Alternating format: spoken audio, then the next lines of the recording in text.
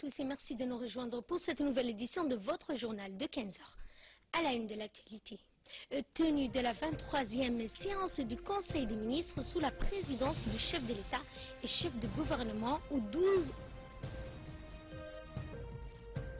En Allemagne, un attentat a fait 12 morts à Berlin lorsqu'un camion a foncé sur la foule dans un marché. C'était les titres et nous entamons cette édition par le 23e séance du Conseil des ministres sous la présidence du chef de l'État et chef de gouvernement Ismaël Marguerite. C'est tenu aujourd'hui la 23e séance du Conseil des ministres où quelques 14 points étaient inscrits à l'ordre du jour de ce Conseil. Le premier point examiné a porté sur un projet de loi euh, pour l'octroi d'un accord de financement additionnel pour l'achèvement de la route Tadjoura-Balhou. Ce prêt s'élève à 18 milliards 450 55 millions de nos francs. Le deuxième point examiné est également un projet de décret qui a permis d'abroger l'article 102 de la loi numéro 154 de 2002 portant codification du financement de l'OPS. Ce projet de loi rétablit les prestations familiales aux six premiers enfants d'une famille donnée alors que la loi amendée les limitait à trois enfants. Le troisième et quatrième point sont des projets de décret portant nomination d'une part des membres du conseil d'administration de l'INAP et d'autre part désignant M. Mohamed Moussa Jama comme conseiller technique du ministre de l'Intérieur. Écoutons donc en premier temps le compte rendu de ce conseil des ministres que nous fait le chef de la diplomatie djiboutienne.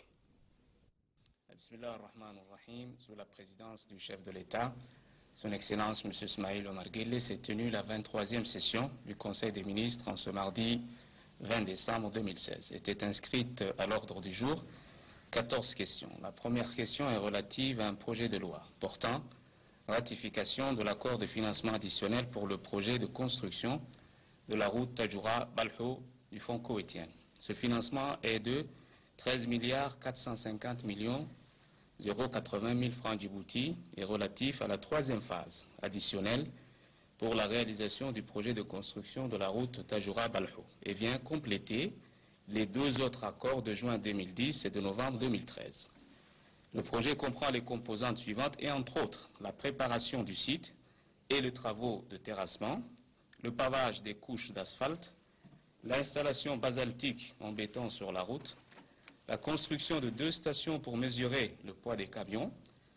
Les travaux de la mise en œuvre du dit projet devront approximativement être clos en décembre 2019.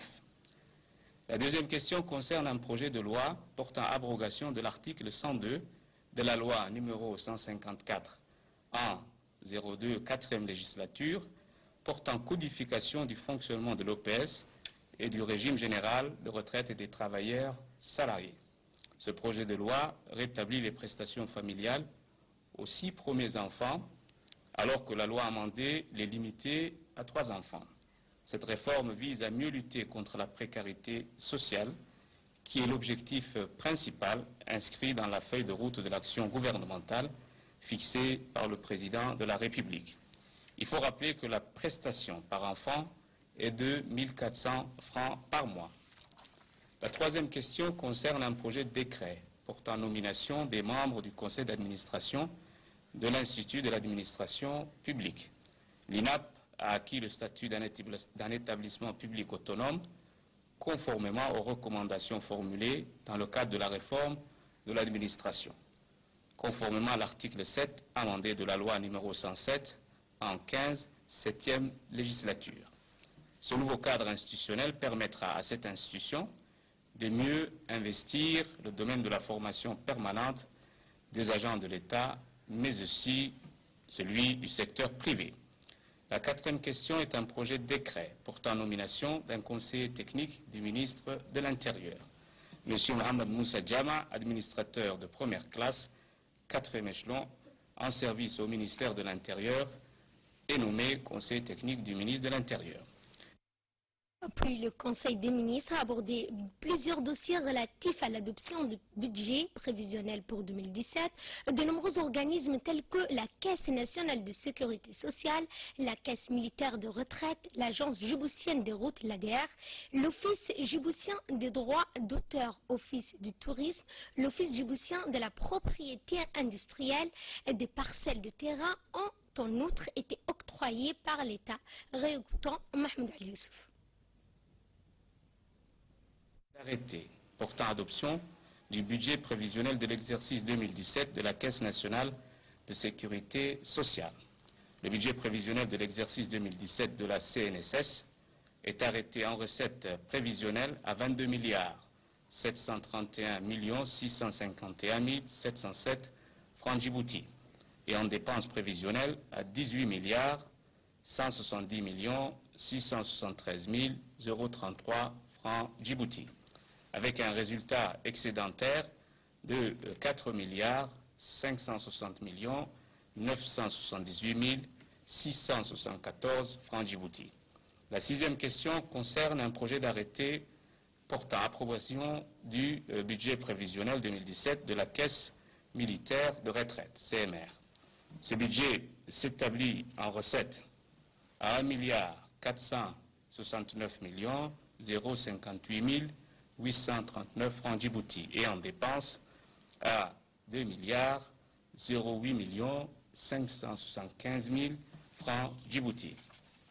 On note principalement une baisse des recettes de 0,3% qui est due à l'effet cumulé de la suppression du revenu de 10% d'impôts de solidarité et de la hausse de 11,6% des cotisations sociales. Afin d'assumer d'assurer l'équilibre du budget prévisionnel 2017, une contribution devra être apportée par l'État sous forme d'une subvention au régime militaire de retraite. La septième question concerne un projet d'arrêté portant attribution d'une parcelle de terrain à Sababan. Cette parcelle de terrain, 6 à Balbala PK12, de 100 000 m2, sera donc euh, vendue à ce promoteur à raison de 3 000 francs Djibouti au mètre carré. Et elle est destinée à l'implantation d'un projet immobilier. La huitième question concerne un projet d'arrêté portant attribution d'une parcelle de terrain à China Civil Engineering Construction Corporation Djibouti Limited. Cette parcelle de terrain 6 à Balbala PK12 d'une superficie de 128 000 m2 est destinée également à l'implantation d'un projet immobilier. La neuvième question est relative à un projet d'arrêté portant affectation d'une parcelle de terrain au ministère délégué chargé du logement. Cette parcelle de terrain sise dans l'enceinte de l'ancien site de la gare d'une superficie de 2000 m2 est destinée à l'implantation de la Banque de l'Habitat. La dixième question concerne un projet d'arrêté portant approbation du budget prévisionnel pour l'exercice 2017 de l'agence djiboutienne des routes ADR.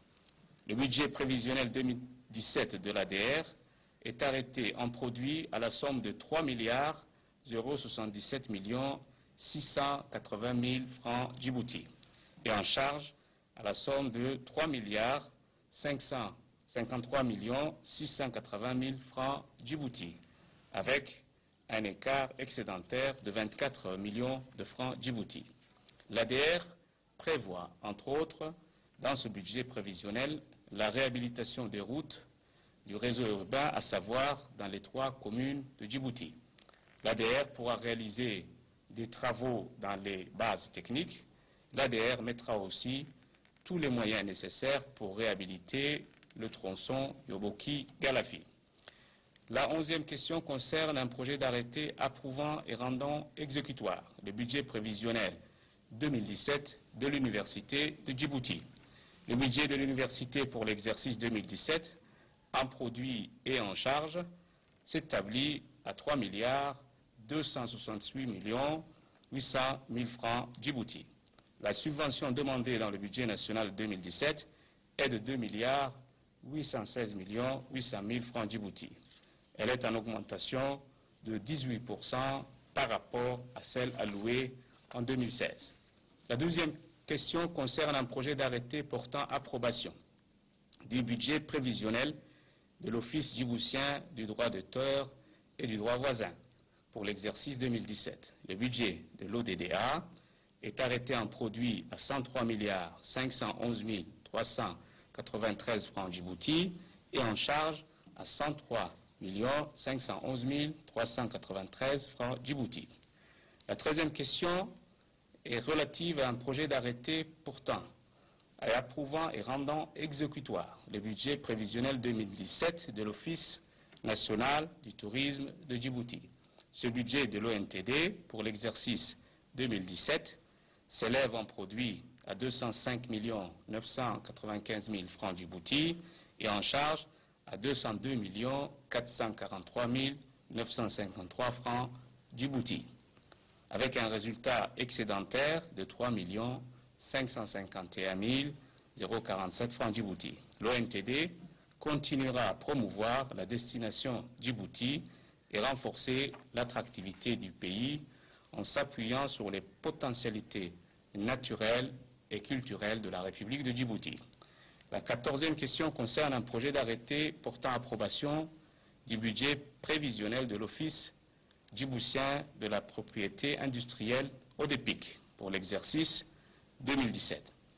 Le budget de l'ODEPIC pour l'exercice donc 2017 s'établit en produit avec un montant de 292 788 058 francs Djibouti et en charge à 292 788 058 francs Djibouti. L'actualité de ce 15 heures, ce sont les diplomates qui sont aussi à l'honneur. Le président de l'Assemblée nationale, Mohamed Ali Humed, a reçu ce matin dans les locaux du Parlement les ambassadeurs de Djibouti accrédités à l'étranger.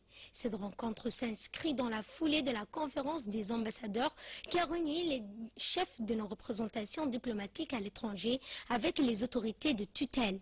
Le président de l'Assemblée a ainsi reçu à son tour l'ensemble de nos diplomates à l'étranger. Cette rencontre s'est déroulé dans un climat convivial en présence du ministre de la Défense chargé de relations avec le Parlement, Ali Hassan Badon, des membres du bureau de l'Assemblée nationale et des présidents des groupes RPP et fruits du Parlement et ceux des différentes commissions permanentes parlementaires. Dans un mot prononcé euh, lors d'un pont en honneur des ambassadeurs de Djibouti, le président Mohamed Ali Hamed, tout en adressant ses félicitations au ministre des Affaires étrangères de la coopération internationale euh, pour cette belle initiative d'organiser la seconde édition de la conférence des ambassadeurs. Et c'est une occasion aussi de vous écouter, de vous rencontrer et de vous féliciter aussi de ces locaux qui est un des locaux immenses et des locaux euh, qui représentent euh, le pays dans un endroit très important.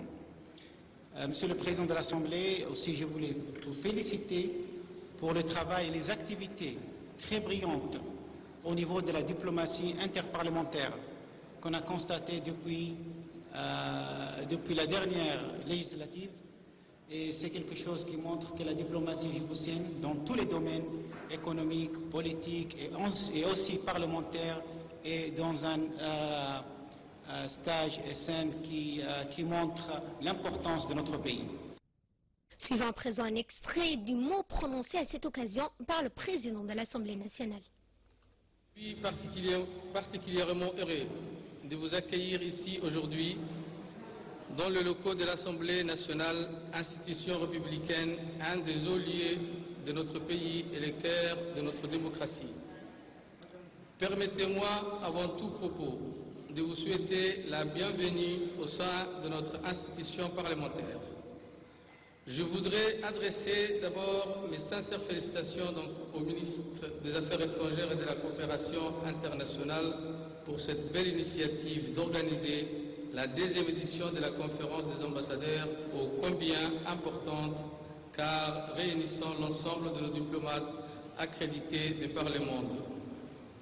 Qu'il me soit permis également de féliciter nos ambassadeurs ici présents pour leur travail de tous les jours en tant que représentants de notre pays dans les pays étrangers amis, mais aussi pour leur rôle important dans la mise en œuvre effective dans leur pays de résidence de la diplomatie au service du développement impulsé par le chef de l'État, son Excellence M. Ismaël Omar.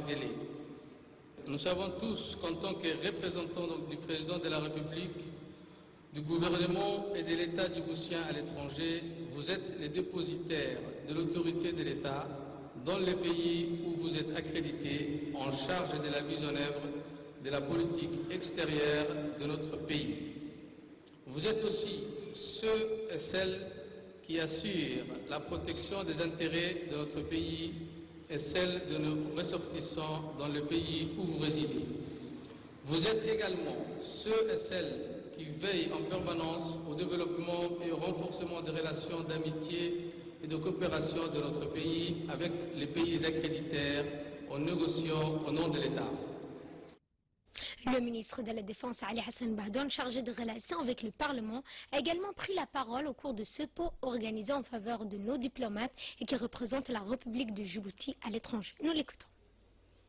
Je suis très heureux d'être ici aujourd'hui euh, et d'avoir l'occasion de vous accueillir, Excellences, Mesdames les ambassadrices et Messieurs, Messieurs les ambassadeurs, pour la première fois à l'Assemblée nationale de la République de Djibouti.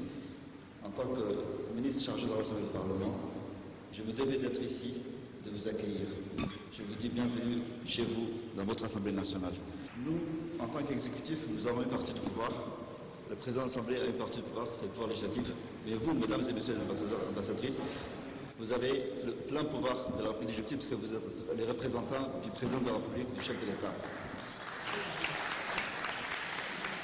Et à ce titre, je pense que vous avez une obligation euh, pleine et entière euh, concernant les, la République de Djibouti et la défense de ses acquis et atouts.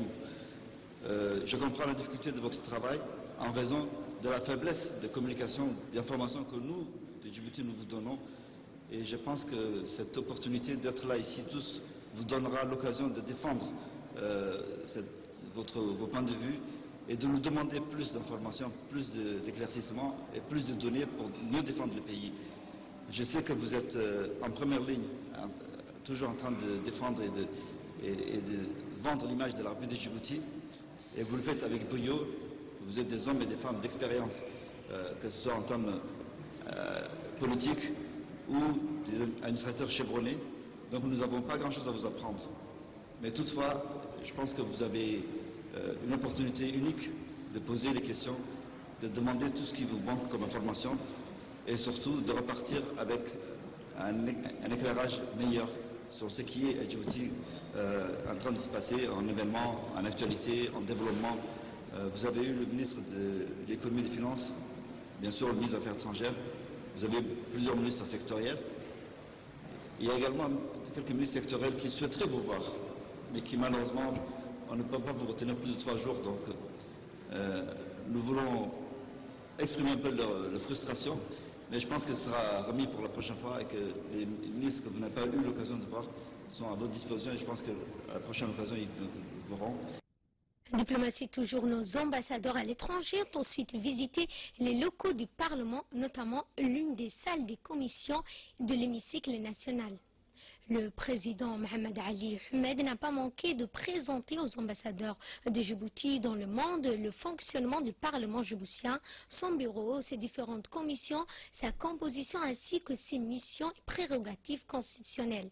La fin de la rencontre a été marquée euh, par la traditionnelle photo de famille et c'est là que le doyen des diplomates d'Yadin Bamakhrama a remercié le président du Parlement et l'ensemble des députés euh, pour l'accueil réservé. Autre déplacement des ambassadeurs, cette fois une rencontre a également eu lieu aujourd'hui entre nos représentants diplomatiques et les représentants du secteur privé de la Chambre de commerce.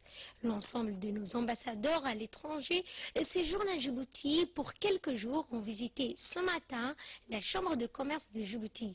Accueillis à leur arrivée par le président de la Chambre de commerce de Djibouti, M. Youssouf Moussadawale.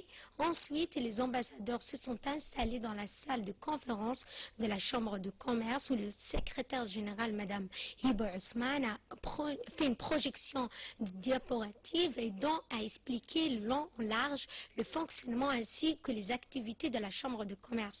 À retenir dans les explications de la secrétaire générale de la Chambre de commerce euh, que la Chambre de commerce a été reconnue avec l'appellation actuelle en 2016, notant aussi que dans une intervention lors des échanges des informations, président de la Chambre de commerce a souhaité que dans chaque chancellerie, il y ait un attaché commercial et économique afin de mieux gérer euh, le domaine des investissements et des investisseurs à l'étranger euh, pouvant actuellement opérer dans notre pays.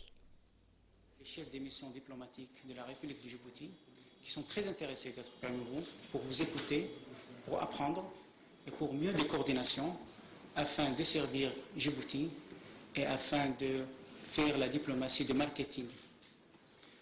Euh, pratiquement, Monsieur le Président, Mesdames et Messieurs les vice-présidents, euh, je sais bien que mes collègues, moi-même et mes collègues, euh, nous sommes en contact permanent avec la Chambre des commerces, individuellement. Mais aujourd'hui, nous sommes tous ensemble pour vous écouter et pour mettre la stratégie commune et globale du commerce et de l'investissement de la République de Djibouti.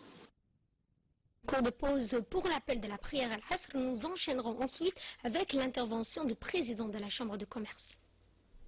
Reprenons donc euh, avec cette intervention du président de la Chambre de commerce. a tout d'abord remercié les ambassadeurs de leur visite. Il a ensuite souhaité euh, qu'il y ait plus d'échanges d'informations entre la Chambre de commerce et nos différentes chancelleries.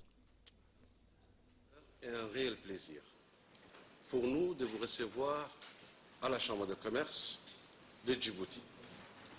Je tiens tout d'abord à remercier le ministère des Affaires étrangères d'avoir associé cette année notre institution aux activités de la seconde édition de la conférence des ambassadeurs, et ce, sous l'impulsion du chef de l'État, président de la République, son Excellence M. Ismaël Marguerite, qui nous a toujours soutenus, car convaincu du rôle moteur du secteur privé dans le développement économique de notre pays.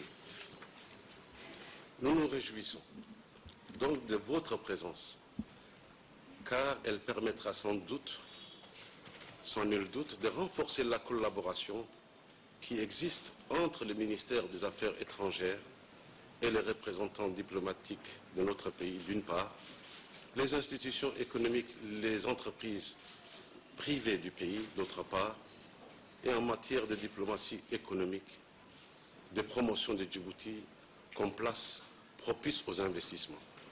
En effet, la situation privilégiée de notre pays, ses caractéristiques, mais aussi ses liens historiques, est privilégiée sur l'Afrique, le Moyen-Orient, l'Europe, à la fois en font une plateforme naturelle du commerce international et donc une destination idéale pour les investissements directs étrangers.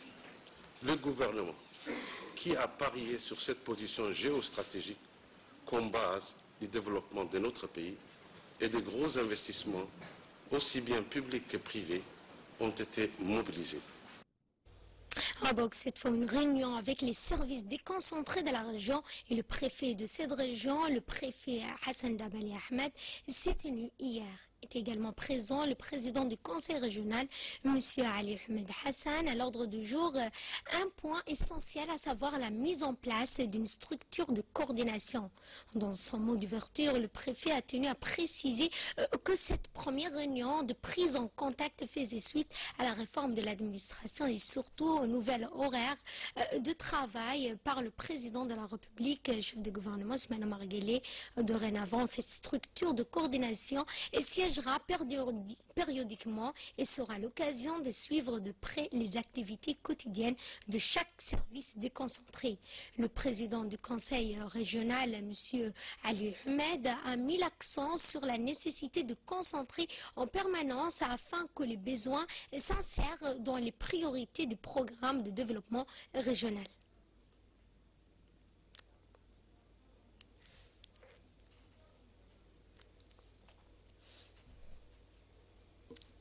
Santé, cette fois, suite à la caravane médicale, le personnel, l'infirmier et les médecins spécialistes de l'hôpital régional, Dr Absi Ouersama, travaillent sans relâche pour offrir des services de soins de qualité à la population de cette région du Sud. Les médecins spécialistes effectuent des traitements ou des interventions chirurgicales au sein de cet hôpital. À cet effet, au début de ce mois de décembre et à ce jour, les blocs opératoires de l'hôpital régional ont accueilli 18 interventions chirurgicales, la plupart de ces opérations de césarienne.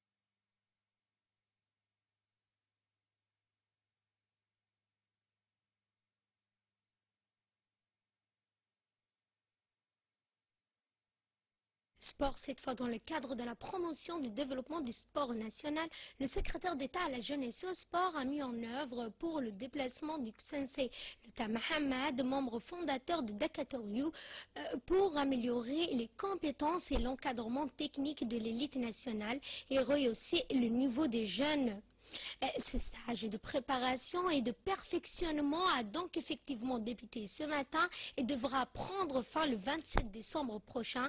Pour la première matinée, le CNC a distillé euh, quelques savoir-faire, euh, notamment en ce qui concerne les différentes techniques d'étirement, d'attaque et de défense.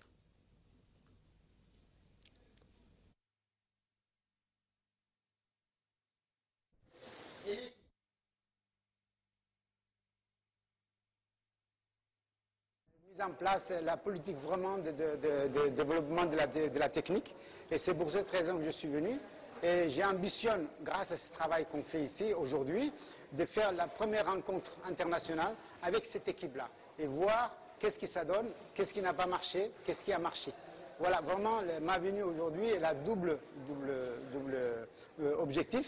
La première, la restructuration de la technique de Djibouti par rapport à la politique internationale et la prise en contact avec l'organisation du ministère de la Jeunesse et des Sports et lui dire euh, nous adhérons à ce que vous faites, aidez-nous. Et, c'est grâce à ce que vous faites, il peut y avoir des lumières sur nos disciplines et on peut sortir de l'ombre. Voilà, c'est un peu, si j'ai la chance de le rencontrer, c'est le message que je voudrais aussi lui passer. Cette fois, nous avons le regret de vous annoncer la mort de feu Ismaël Assoui Miguel, né en 1957 il est décédé hier. Le défunt était le père du vice-président de l'annexe du RPP de Daba, M. Ahmed Ismail Assowe, et le cousin de l'ambassadeur de Djibouti en Chine, Abdallah Abdullahi Miguel. Le défunt était un employé de la sécurité du port. Il laisse derrière lui 18 enfants et petits-enfants.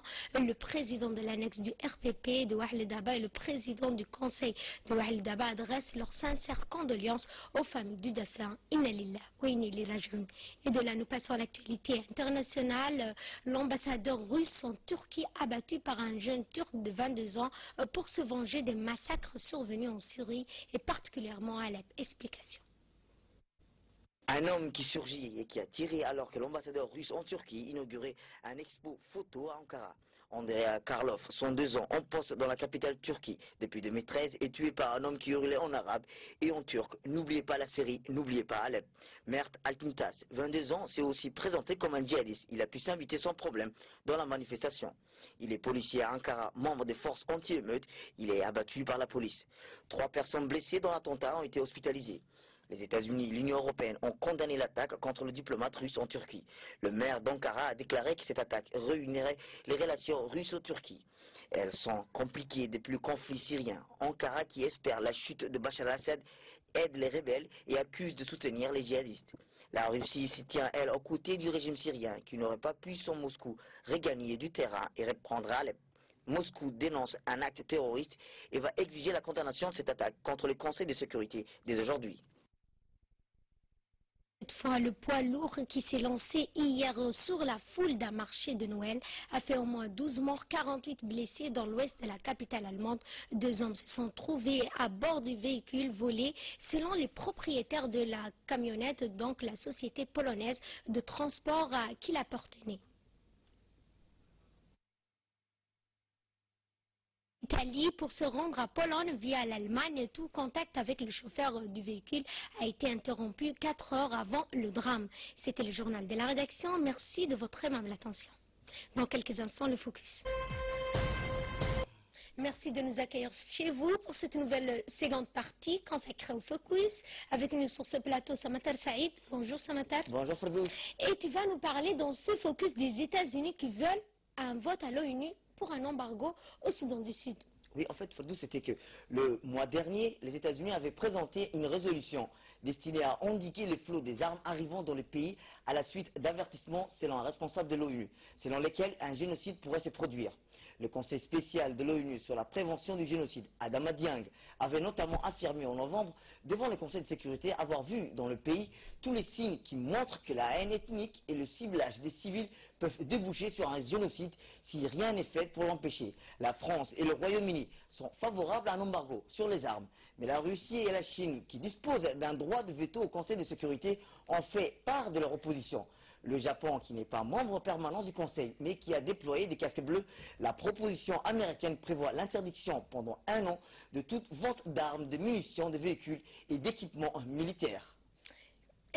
Et Donald Trump qui obtient la majorité requise au collège fédéral, cette majorité donc des membres du collège électoral américain, s'est prononcé hier lundi en faveur de Donald Trump, confirmant donc à cet effet l'élection de l'homme d'affaires à la Maison Blanche. En fait, pour rectification, Donald Trump a été élu 45e président des États-Unis d'Amérique. Le président élu Donald Trump a obtenu lundi 19 décembre la majorité requise à 210 voix au collège électoral, devenant ainsi officiellement le 45e président des États-Unis, selon le décompte de l'agence presse américaine AP. Après décompte à la quasi-totalité des votes qui se déroulent lundi dans les capitales, les États-Unis de l'Union Trump étaient crédités de 304 voix contre 224 pour Clinton. Le vice-président Michael Pence, élu sur la même ticket que Trump, s'est dit honoré par le vote du collège électoral. Le scrutin, qui d'ordinaire est une affaire de routine, se déroule cette année sur fond d'acquisition de piratage informatique russe, visant à influer sur le résultat de l'élection du 8 novembre. Plusieurs responsables démocrates avaient appelé le 538 grand électeurs du collège à s'abstenir de confirmer le milliardaire dans ses fonctions ou à voter pour le gagnant du vote populaire, la démocrate Hillary Clinton. Une demi-douzaine de grands électeurs ont rompu avec la tradition et ont voté contre le directif de leur parti jamais vu dans l'histoire. Institutionnellement du pays, depuis 1900, selon huit grands électeurs au total, n'ont pas suivi le choix de leurs États d'origine. Personne ne savait que Donald Trump est devenu le 45e président des États-Unis d'Amérique que euh, les États-Unis, leur vote ne se fait pas au scrutin direct, mais, aux, indirect, indirect, et c'est le swing state qui détermine euh, parfois les vainqueurs de toute une élection. C'était le journal, c'était le Focus. Merci à vous de nous avoir suivis. Passez un agréable moment avec la suite de nos programmes.